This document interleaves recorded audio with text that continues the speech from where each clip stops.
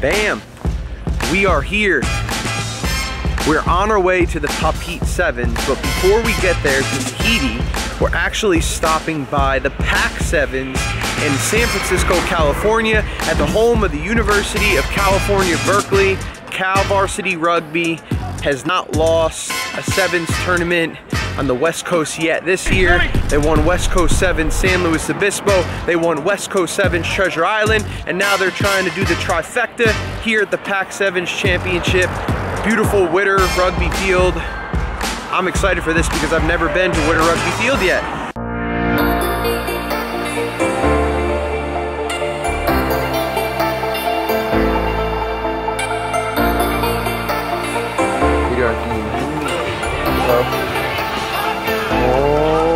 Baby, the first look at Witter Rugby Field and the beautiful man, Anton Malco, right here. Look at this, wow. This is my first time here. This is amazing. No. Hey, Alex. I just checked in. I got my little.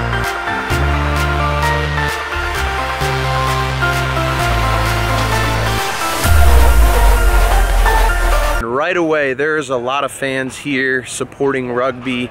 Obviously cal in specific because it's their home field.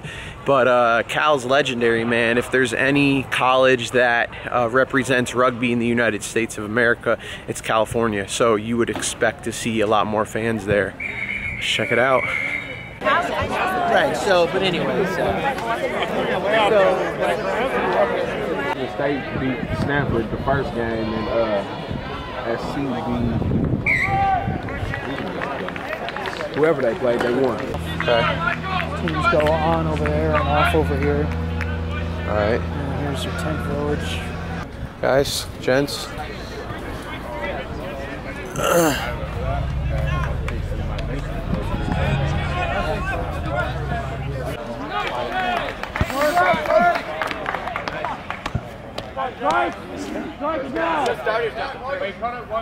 He's decked out, man. You got to look good, whether you you're a player or a ref. Absolutely, absolutely. It's only one way to do that. Marquise Goodwin. One and only. What a man. What a man. What a hunk. He's single, ladies. Or I don't even. No. He's married. Never mind. We've got Cal Rugby in the background right now. Cal takes the number one seed coming into the Cup semifinals today. They're going to play Arizona State. Cal Rugby definitely a favorite in that matchup against Arizona State. And to be honest with you, they should roll. I see no reason why Cal doesn't roll in that game. However, UCLA versus Arizona in the other semifinal, that is going to be a battle. I think it's going to come down to the last second with Mm, man, this is so hard to call. I'll go with the boys from. I just can't. It's going to come down to the last second. We'll see what happens.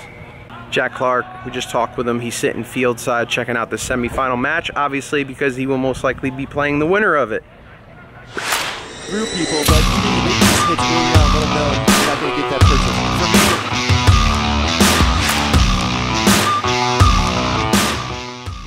For if I'm Scott Stewart, I'm encouraged by the fact that no missed tackles so far, but a bobble on the throw-in gives the ball right back to the Wildcats, a chance squandered by the Bruins, and a great oh. hit-up tackle.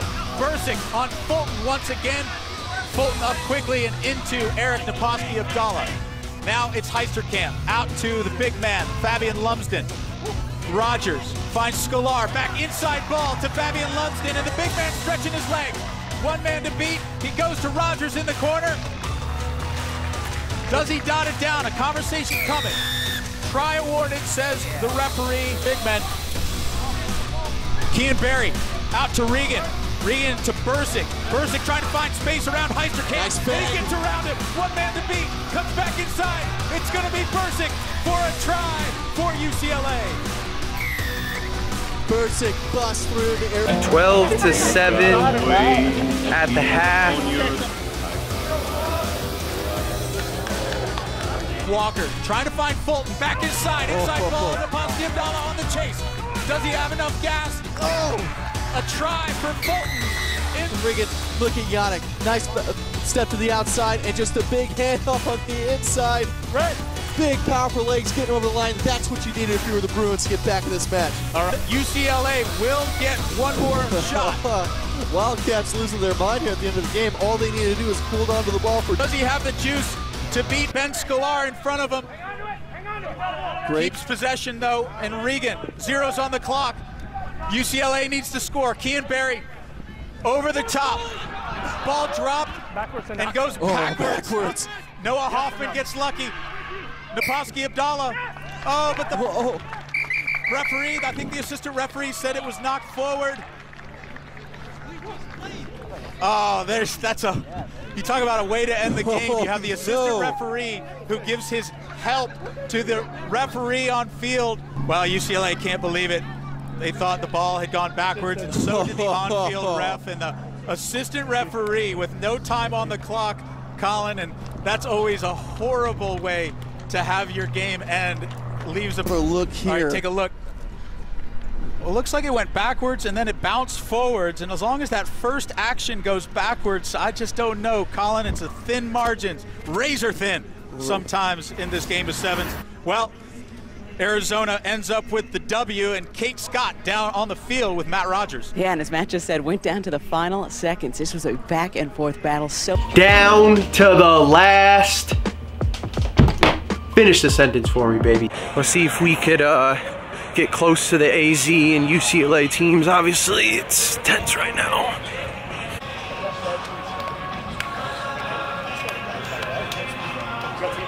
St. Rosemont Rugby Sevens magazine. I have Matt Rogers here with the Arizona rugby team. You guys just went uh, tough match against UCLA in the semifinals here at Witter Rugby Field and at the Pac Sevens. Uh, what worked so well in that last match? Um, I think really just sticking to our game plan, um, stretching them wide, just using our pace, and really trying to, you know, just attack those edges. Definitely UCLA, Arizona. You guys, at least in my opinion, are, are right there. You guys are very close when you look at skill-wise. Anyone could win any match. Um, it came close there at the end with UCLA trying to score until the knock-on happened. What, what, what's going through your mind, and how are you orchestrating the guys in that last defensive stop? You know, really just trying to be patient on the in those last plays and really make them make the mistakes and just be patient and just play our defensive strategy and, and wait for their mistake. There you go, Arizona into the Cup Finals, most likely with Cal, but we will see how this ASU Cal showdown goes. Thanks, Matt. Appreciate it, man. Thank you. Thanks, man. So the question is, was it a knock on? Let me, so let me explain that process. So my call was a knock. Uh, verified that twice through the AR. The AR said it was a knock. So in this game, you got to trust your team. Um, can't always get it right or wrong. So the film never lies. So we'll have to see. But uh, 100% I trust my team on that, and I went with the call. Fans a little unhappy with the call. Some fans. Yeah, definitely. Um, it's a process. You know, sometimes you get it right, sometimes you get it wrong. So it's all through confirmation and working as a team of three out here. So um, sometimes I'm 50-50 on the call. I double head, make sure I check and verify. And if uh, the team agree with me, then that's what I go with. That's what we just found out right now. Marquise Goodwin said the Pac-12 network told him not allow games to go to overtime because they have only a certain time slot to fil- to film this in, and then they got to pay extra. So that UCLA call, blame it on the Pac, man. Blame it on the Pac. Keanu Andrade, little ball of thunder. And he blazes through one tackle and sets Poon free. And it'll be another try under the sticks for the Cal Bears. Henry Poon. find the inside runner of Poon. Just watch his little step in, out, shimmy, footwork for days, and the skills to finish it off. And Poon. Casano. Casano dances around the corner. Referee keeps his flag down and a try scored by Sam Casano.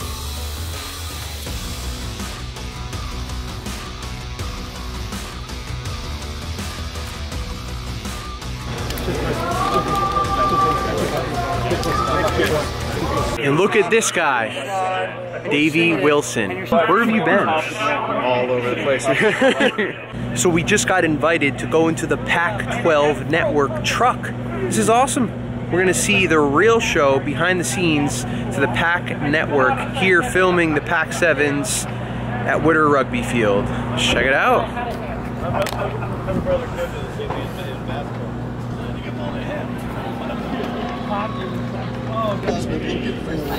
That number nine jersey. He's had moments where he's had half breaks, but hasn't been able to finish it. Hello. Back there, he's Bob. Hey, how you doing? How you doing? Bob? Yeah. Nice to meet you. To Dustin. Very nice. Thanks for having me. Thanks for letting me in. James, as a defender, you gotta ignore all that noise. The hand movements, where he's looking. We'll do post game for the remaining four matches. Okay. Post game for every match. The drive. And we'll do pregame for the final. And only one more game. Uh, negative. Okay, just one total? Yeah. Dang, the real deal setup there in the Pac Network. You gotta love seeing all that. Seven camera setup. Seven cameras. Uh, people just have no idea when you're watching a TV at home how much is going on in the background to make sure that the picture comes out perfect. When you don't see a good picture, we have a tendency to get very upset that we're not seeing a clear picture. But if you realize how much actually went on in the background, you may not think that anymore. They're filling in for the Cup final. Cal Rugby versus Arizona in the Cup final. And Nick, Nick Boyer here in the background. What's up, Dustin? Coming out to Witterfield. What are you doing? Just uh, supporting the guys? Supporting the boys, yeah. I was in town, so I figured I'd come check it out. You like? Cow. That's an easy question. it's a no-brainer. It's a no-brainer. But there. They're friends again already. Just like that.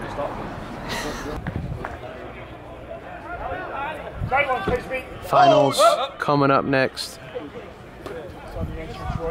Arizona versus Cal. It goes down again. First time was in San Luis Obispo in the semifinals, and Cal dominated. Second time was in West Coast Sevens Treasure Island, and it went down to the last second. Cal won 17 to 15. Now they will battle it out here in the Pac Sevens Championship. The and I'll be honest right now, I think Cal's going to win. They're going to finish 3-0 against Arizona for uh, the West Coast Series here for sevens. And it's going to be Cal.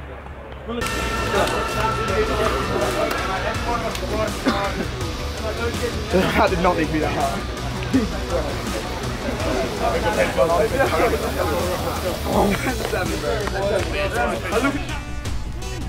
Back to Dyer. Now Mirisham. Tavener. Andrade still there to help out, but he won't need him. The first drive scored by Zach Tavener. Jesuit High School product. The senior from Sacramento dots down and play. So Mirisham in the channel for the tap back from the Arizona Wildcats. And Tavener not going to stop Tavener. He's getting... Mirisham to Casano. Uh-oh. Casano steps outside of Ben Scalar. And Casano going to put one down. For what weekend, at least for me, I know oh, coaching staff knows these players a lot better, but guys like Sam Walsh and Sam Gala have stepped up. Elliot Webb somehow finds a handle. Things just seem to be going right for the Cal Bears. Casano, how does he get How out of that do Garrett that? Walker tackle and he gets into touch and just enough. Brought into touch, five meter. Just line out. enough from Blue. Matt Roger. Two. Just looking at the two squads, it just seems like Cal is so fresh. Matt Rogers, a lot of hard minutes, especially playing earlier on, and just Cal Bears, Elliot Webb, the hitch step out to Marcus Shanklin. Shanklin, a good tackle by Fulton on the corner, but not before Elliot Webb is found, and oh. Rogers has done everything today at sweeper until now. Can't put down Elliot Webb. Another try for the Cal Bears. Three to five, California takes down Arizona in the Pac Sevens Championship, baby.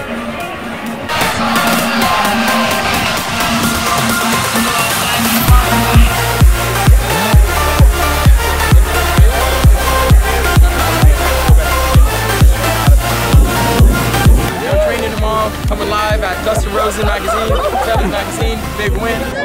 Let's go! Wait. Young Guns, Young Guns coming out, winning the first year. Okay, okay.